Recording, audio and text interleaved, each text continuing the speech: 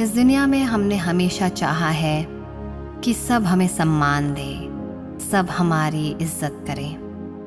मगर क्या ये चाहना सही है जब हम स्वयं ही दूसरों को वो ना दे पाए?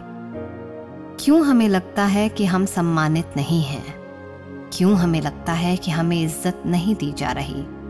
हमारा जीवन ही स्वयं में सम्मान है। इस जीवन का ही जब हम सम्मान नहीं कर पाएँगे तो हम दूसरों से इसकी क्या अपेक्षा करें कि वो हमें एक नए तरीके से इज़्ज़त दे?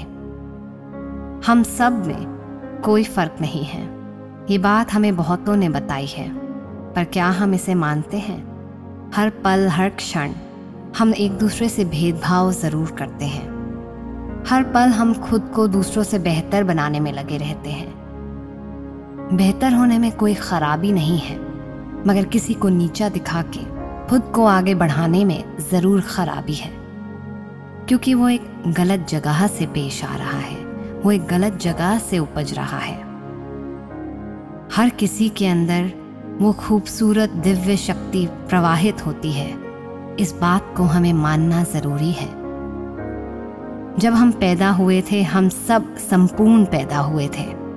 इस जीवन में बड़े होते होते हमें हमारे परिजनों ने, हमारे गुरुओं ने हमें बताया कि हमें अलग होना है, दूसरों से बेहतर होना है। ये करेंगे तो हम नीचे रह जाएँगे, ये करेंगे तो हम ऊपर हो जाएँगे।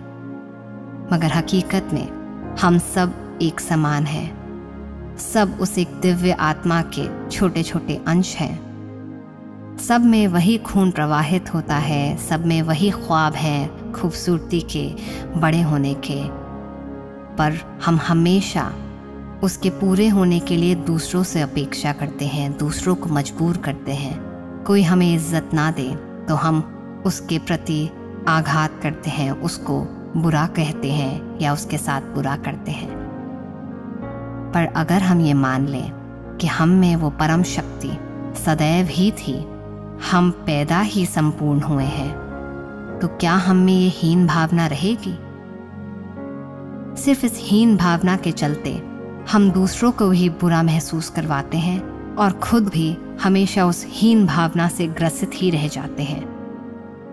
अंत तक पता नहीं किस इज़्ज़त को पाने की खोज करते हैं, जो हिसाब से हमें परमात्मा ने शुरू में ही दे दी थी। तो चलिए, एक बार ध्यान में जाके दोबारा उस परमात्मा से जुड़ते हैं, जिसने हमें संपूर्ण पैदा किया था। एक आरामदायक स्थिति में बैठ जाएँ, कमर को सीधी रखें। कंधे अगर ऊपर चढ़ रहे हैं तो उन्हें नीचे की तरफ़ आने दें। आँखें बंद कर लें। एक लंबी गहरी सांस भरें और इसे रोक लें। अब इस सांस को हम मुँह से छोड़ते हुए अपने कंधों को गर्दन को छाती को ढीला छोड़ते जाएँगे।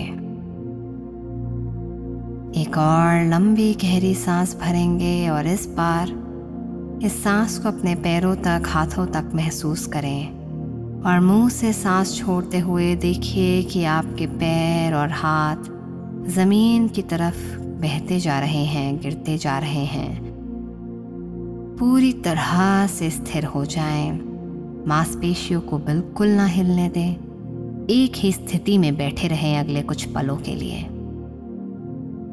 एक और लंबी गहरी सांस शरीर में भरें और इसे पूरे पेट तक भर लें और फिर रोक लें। और अब सांस को धीरे धीरे मुँह से छोड़ते हुए देखिए कि शरीर से सारा तनाव बाहर जाता जा रहा है, बाहर जाता जा रहा है, बाहर जाता जा रहा है। इस पल तक क्या क्या हुआ? अगर अभी भी वो आपको तकलीफ़ दे रहा है तो उस पूरी भावना को एक फ़िल्म की तरह अपनी आँखों के सामने, अपने भावों के ठीक बीच आज्ञा चक्र के सामने ले आए। और अपनी हर सांस को देखें कि इन भावों के बीच से वो सांस बाहर जाकर इस दृश्य को आपके शरीर से और दूर करे जा रही है। दूर करे जा रही है। हर सांस को छोड़ते हुए वो आपके शरीर से और दूर जाती जा रही है और शरीर में एक नया हल्का बनाता जा रहा है। एक नई शांति आती जा रही है। अपने शरीर के आसपास पूरी तरफ़ देखिए कि एक सफ़ेद प्रकाश आपको अपने अंदर समेटे हुए है। ये आपकी ऊर्जा है। और ये ऊर्जा चक्र आपको सदैव सबसे बचाती है। और ये ऊर्जा ही है जिसको महसूस करके कई लोग कहते हैं कि उनको आपके साथ अच्छा महसूस होता है या बुरा महसूस होता है। इस ऊर्जा चक्र को अपने अंतर मन की आँखों से देखने की कोशिश कीजिए। क्या इसमें किसी तरह के छेद हैं या कोई भारी ऊर्जा है? या कोई कालिक है तो ध्यान हमेशा सांस पे ले जाएँ और इस सांस को छोड़ते हुए देखें कि एक कालिक दूर जाती जा रही है। यदि ये कालिक अभी भी नहीं आसानी से जा रही तो आपको और गहरी सांस लेनी होगी, लेकिन ये आपको ज़रूर छोड़ेगी बाहर। ये आपको इससे ज़रूर मुक्त करेगी। सांस लेते जाइए। और देखिए, हर सांस छोड़ते हुए आपकी ये ऊर्जा बिल्कुल सफ़ेद प्रकाश से प्रकाशित हुए, साफ़ होती जा रही है, बढ़ती जा रही है। और धीरे धीरे आप जिस कमरे में बैठे हैं, उस पूरे कमरे में ये सफ़ेद प्रकाश भर गया है। आपके इस ऊर्जा चक्र के अंदर अब जो भी आएगा, आप उससे आसानी से समझ पाएँगे। आप उनसे आसानी से बात कर पाएँगे, अपने विचार एक शांत स्थिति में प्रकट कर पाएँगे और उनके विचारों को भी सहजता से समझ पाएँगे। फिर देखिए कि क्या फ़र्क है उनके अंदर और आपके अंदर। जिस तरह आपकी आँखें हैं, उसी तरह से उनकी भी हैं। जिस तरह आप भी एक बचपन से गुजरे हैं, उसी तरह वो भी एक बचपन से गुजरे हैं। जिस तरह आपके भी जीवन में कई ऐसी परिस्थितियाँ घटी जिसने आपको लोगों के प्रति कड़वा बना दिया। उसी तरह ये भी उन्हीं परिस्थितियों से गुजरे हैं। जिस तरह के अभाव आप में हैं, हीन भावना हमारे अंदर है। डर है। हमेशा एक प्यार की, एक प्रेम की, एक संपूर्णता की खोज आप में है, उसी तरह से इनमें भी है। तो क्या फ़र्क है इनमें और आप में? कुछ पल खिले से जानते हुए समझें और फिर अपनी इस सफ़ेद प्रकाश को इनके साथ बांटें।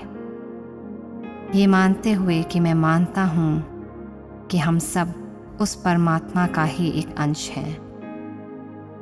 हम अपनी परिस्थितियों में खोकर अपने अस्तित्व को खो चुके हैं। पर आज इस पल में हम एक दूसरे का साथ देकर एक दूसरे को वापस उस परमात्मा से जोड़ सकते हैं।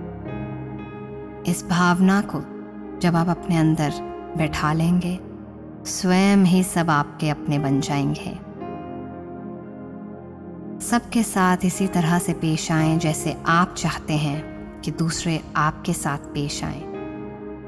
आपको आपकी गलतियों के लिए भी माने, आपकी खामियों के बाद भी प्यार करें।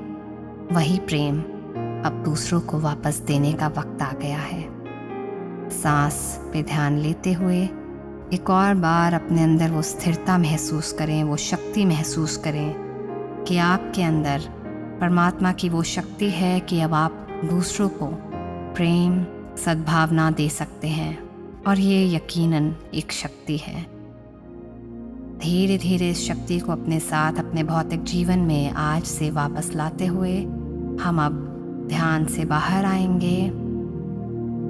अपनी दोनों हथेलियों को आपस में रगड़ें और इस ऊर्जा को महसूस करें किस तरह से प्रकट हो रही है।